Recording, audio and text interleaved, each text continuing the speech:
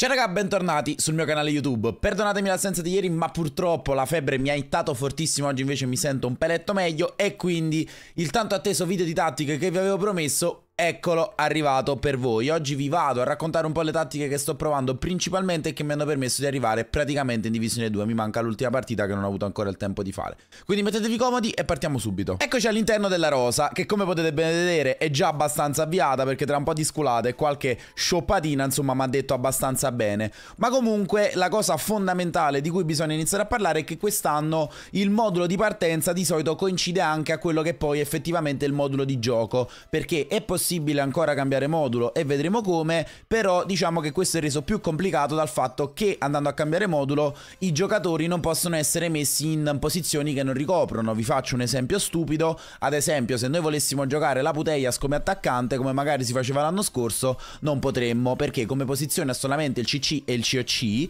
e se lo andiamo a schierare da TT non avrebbe i ruoli per poter giocare in quella posizione e quindi andrebbe a muoversi malissimo e sappiamo quanto siano importanti i movimenti questi quest'anno. Quindi il cambio modulo è possibile, però va fatto con criterio e quindi costruire una squadra che ha già al suo interno anche la possibilità di avere un secondo modulo di riserva. E come si fa a cambiare modulo? Nella gestione delle tattiche voi andate su nuova tattica, create la nuova tattica, una volta che l'avete finita la salvate e poi come al solito, come si faceva anche l'anno scorso, dalla partita con le freccette, freccetta in basso, vi andate a selezionare la tattica che avete preimpostato, è facilissimo. Mentre veniamo a noi, quello che è il modulo che sto utilizzando e che mi ha portato in divisione 2, che è il 4334, un modulo che ho trovato molto bilanciato e che la presenza del trequartista facilita in maniera incredibile a fare gioco. Gli esterni pure li ho trovati molto importanti in questo avvio di FC25 per cercare di aprire il campo,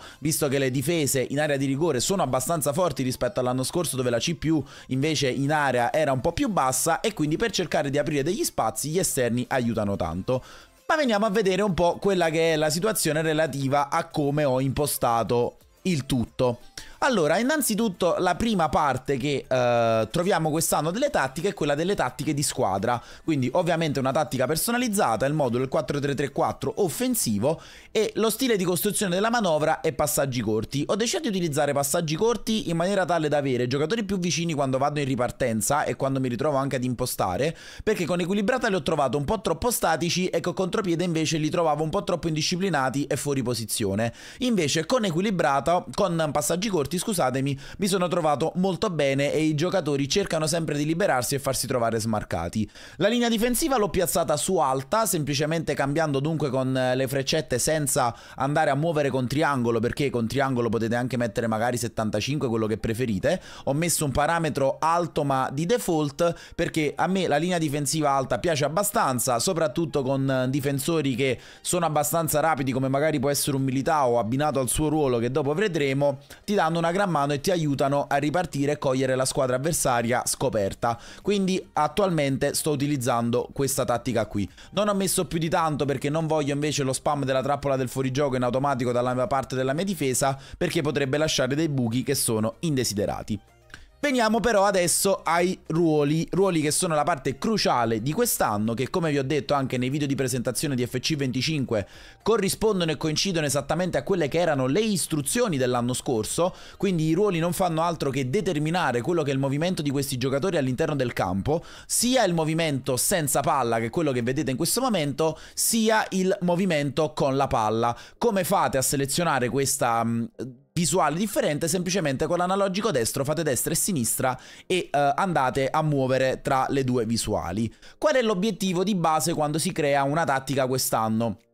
andare a determinare ed impostare i ruoli in maniera tale che quasi tutto il campo sia coperto da hit, hit, point, quindi i giocatori vadano effettivamente ad impattare in quelle zone di campo, altrimenti se si lasciano dei buchi è un problema perché in quei buchi là poi venite puniti sistematicamente dall'avversario. Un altro tema fondamentale che spesso mi è stato chiesto, ma quindi conviene sempre mettere il giocatore con il proprio plus o il proprio plus plus? La risposta secondo me al momento è ni. Ni perché non è detto che per forza di cose dobbiate utilizzare il plus plus se magari voi a quel giocatore gli volete richiedere un ruolo e una posizione diversa. Invece se preferite utilizzare il plus plus il giocatore comunque ha un movimento migliore rispetto al plus o ovviamente rispetto al non avere niente. La differenza è abbastanza sensibile, ma vi ripeto, io per esempio per uh, buttarvela lì, la Guiarro non la utilizzo con il suo plus perché voglio che giochi un po' più arretrata, ma adesso ci arriviamo. Quindi partiamo subito con quella che è la, mm, la, porta dove Allison ho scelto di giocarlo con portiere fuori dai pali plus plus con compito bilanciato perché anche quello si può modificare. Il portiere fuori dai pali fa praticamente quello che faceva il portiere moderno in grado di sventare le conclusioni e supportare la manovra offrendo un'opzione di passaggio. Quindi cercherà di uscire bene quando magari si ritrova negli uno contro uno e offrirà anche un'opzione quando stiamo impostando.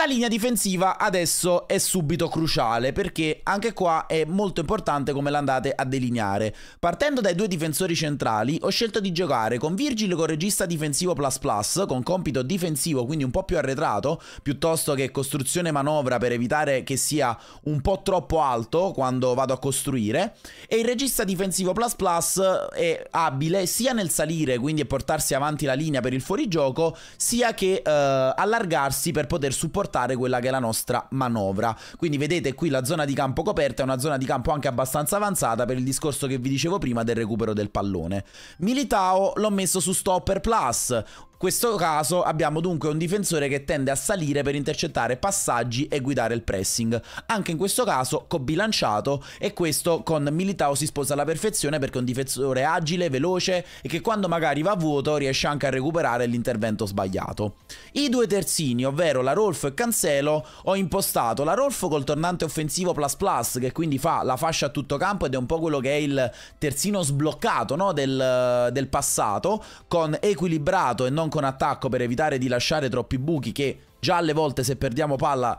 potremmo fare fatica a difendere su quel lato lì, mentre Cancelo non ho scelto di utilizzarlo con il suo, um, con il suo plus che è terzino di spinta, ma con terzino bilanciato in maniera tale da avere un terzino che rimane un po' più dietro, vedete, a comporre proprio la linea difensiva senza strafare perché altrimenti ci ritroviamo con troppi buchi. A centrocampo invece la Ghiarro, come vi dicevo in, in precedenza, ho deciso di giocarla con centrocampista di contenimento che come potete ben vedere si abbassa tanto per ripiegare davanti la difesa e uh, in particolare grazie al suo playstyle del L1 triangolo poi dà una gigantesca mano anche per ripartire con cambi di gioco super precisi. Compito l'ho messo difensivo. De Jong piazzato con il suo regista plus plus perché in questo caso con Svaria vedete che occupa praticamente la porzione di campo complementare a quella della Ghiarro quindi ho coperto tutto il centrocampo impostando i due centrocampisti così mentre la Putellas nel ruolo di uh, trequartista lo, la vado a giocare con attaccante ombra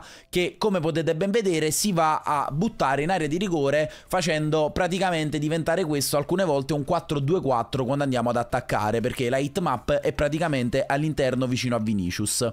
Sui nostri due esterni utilizzo il regista largo plus plus su Neymar con compito offensivo in maniera tale che come potete vedere copro bene tutta la fascia senza lasciare dei, dei buchi e Neymar è bello largo e mi facilita l'entrata in area di rigore e magari la ricerca della scaletta. Dall'altra parte Salah con attaccante interno ha più o meno gli stessi movimenti ma vedete quelli che fa maggiormente sono quelli più, più chiari quindi uh, va più per vie centrali e va esattamente a fare il movimento complementare anche in questo caso a Neymar, mentre per quanto riguarda Vinicius utilizzo attaccante avanzato con offensivo e non con completo, perché come potete ben vedere da questa um, schermatina con completo rischierebbe di andarsi ad allargare un po' troppo, mentre invece con offensivo noi ce l'abbiamo dentro l'area di rigore e quindi quando noi abbiamo la palla tra i piedi la squadra diventa praticamente così, con loro tre che compongono questa linea avanzata, la Putellas immediatamente dietro, Ghiarro e De Jong con una un po' più dietro e una un po' più su, la difesa perfettamente impostata con la Rolfo che si aggrega alla la manovra offensiva e quindi diciamo che il lato sinistro è il nostro lato più forte.